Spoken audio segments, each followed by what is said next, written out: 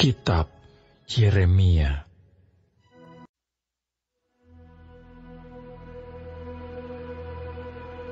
Pada waktu itu, demikianlah firman Tuhan. Aku akan menjadi Allah segala kaum keluarga Israel, dan mereka akan menjadi umatku. Beginilah firman Tuhan. Ia mendapat kasih karunia di padang gurun, yaitu bangsa yang terluput dari pedang itu. Israel berjalan mencari istirahat bagi dirinya. Dari jauh Tuhan menampakkan diri kepadanya. Aku mengasihi engkau dengan kasih yang kekal. Sebab itu aku melanjutkan kasih setiaku kepadamu. Aku akan membangun engkau kembali, sehingga engkau dibangun, hai anak darah Israel. Engkau akan menghiasi dirimu kembali dengan rebana, dan akan tampil dalam tari-tarian orang yang bersukaria. Engkau akan membuat kebun anggur kembali di gunung-gunung Samaria. Ya, orang-orang yang membuatnya akan memetik hasilnya pula. Sungguh, akan datang harinya bahwa para penjaga akan berseru di gunung Efraim. Ayo, marilah kita naik ke Sion kepada Tuhan Allah kita. Sebab beginilah firman Tuhan, bersorak-sorailah bagi Yakub dengan sukacita. Bersukarialah tentang pemimpin bangsa-bangsa. Kabarkanlah, pujilah, dan katakanlah, Tuhan telah menyelamatkan umatnya, yakni sisa-sisa Israel. Sesungguhnya aku akan membawa mereka dari tanah utara dan akan mengumpulkan mereka dari ujung bumi. Di antara mereka ada orang buta dan lumpuh. Ada perempuan yang mengandung bersama-sama dengan perhimpunan yang melahirkan. Dalam kumpulan besar, mereka akan kembali kemari. Dengan menangis mereka akan datang dengan hiburan aku akan membawa mereka. Aku akan memimpin mereka ke sungai-sungai di jalan yang rata, di mana mereka tidak akan tersandung. Sebab aku telah menjadi bapa Israel.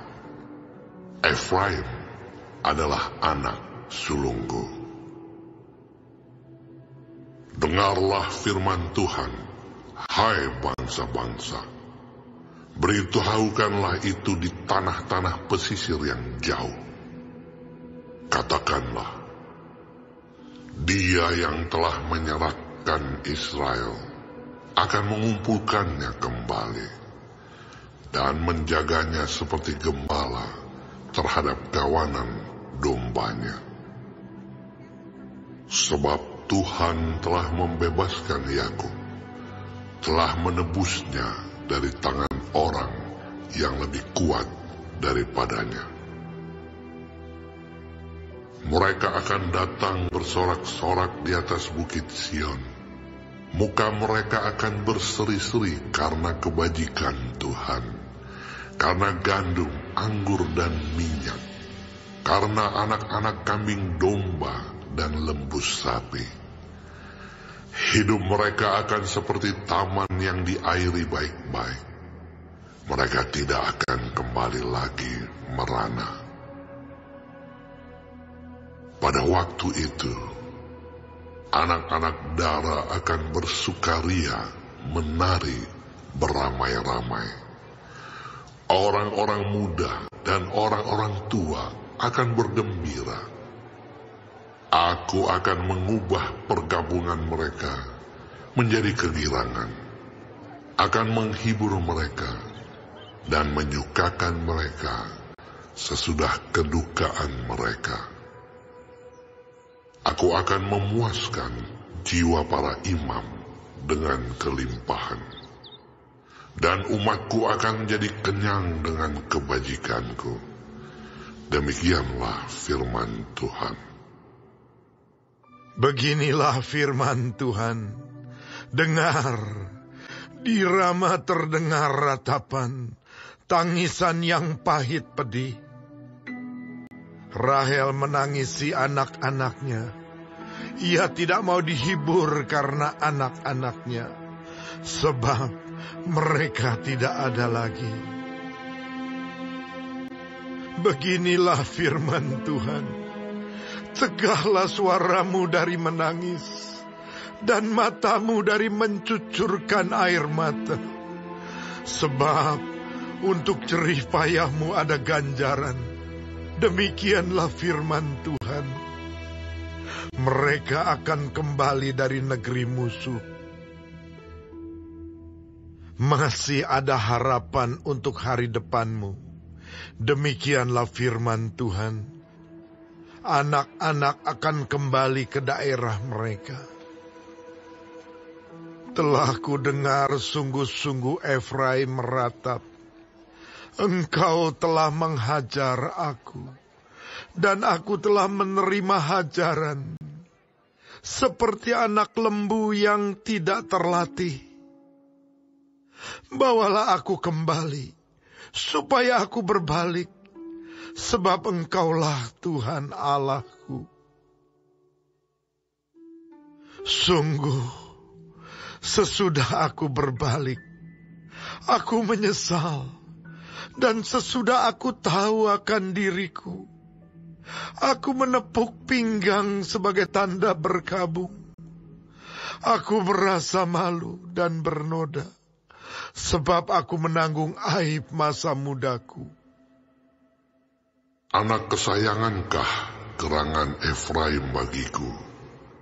Atau anak kesukaan? Sebab setiap kali aku menghardik dia, tak putus-putusnya aku terkenang kepadanya. Sebab itu hatiku terharu terhadap dia. Tak dapat tidak aku akan menyayanginya. Demikianlah firman Tuhan. Dirikanlah bagimu rambu-rambu jalan. Pasanglah bagimu tanda-tanda jalan. Perhatikanlah jalan raya baik-baik, yakni jalan yang telah kau tempuh. Kembalilah, hai anak darah Israel, kembalilah ke kota-kotamu ini.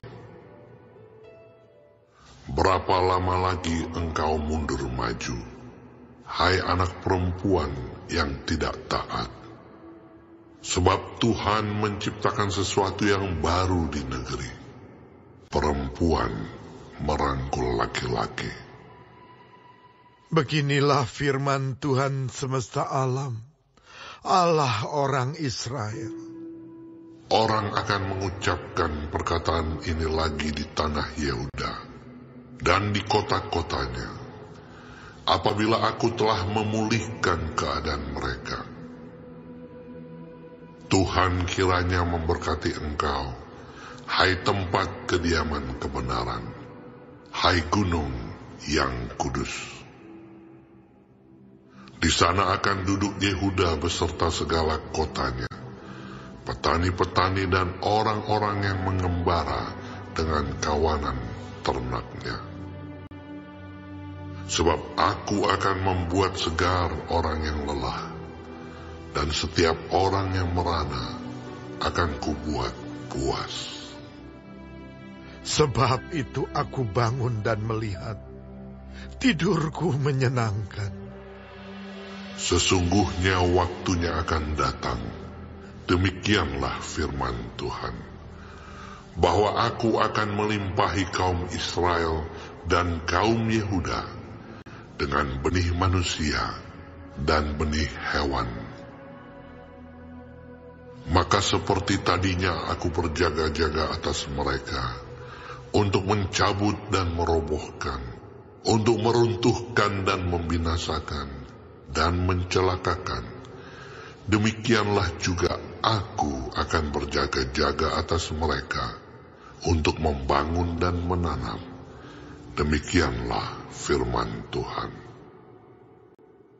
Pada waktu itu orang tidak akan berkata lagi, ayah-ayah makan buah mentah, dan gigi anak-anaknya menjadi ngilu. Melainkan, setiap orang akan mati karena kesalahannya sendiri. Setiap manusia yang makan buah mentah, giginya sendiri menjadi ngilu. Sesungguhnya akan datang waktunya. Demikianlah firman Tuhan. Aku akan mengadakan perjanjian baru dengan kaum Israel dan kaum Yehuda. Bukan seperti perjanjian yang telah kuadakan dengan nenek moyang mereka. Pada waktu aku memegang tangan mereka untuk membawa mereka keluar dari tanah Mesir. Perjanjianku itu telah mereka ingkari. Meskipun aku menjadi Tuhan yang berkuasa atas mereka, demikianlah firman Tuhan.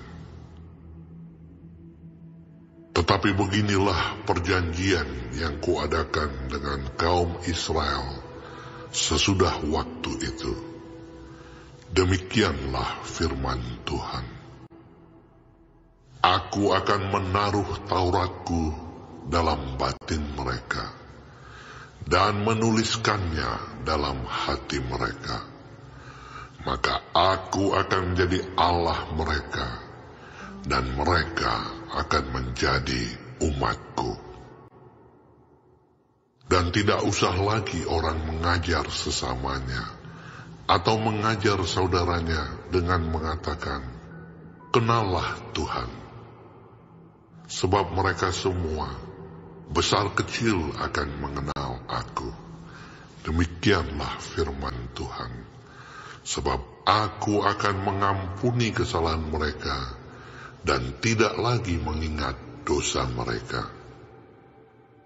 Beginilah firman Tuhan yang memberi matahari untuk menerangi siang, yang menetapkan bulan dan bintang-bintang untuk menerangi malam, yang mengharu biru laut, sehingga gelombang-gelombangnya ribut. Tuhan semesta alam namanya.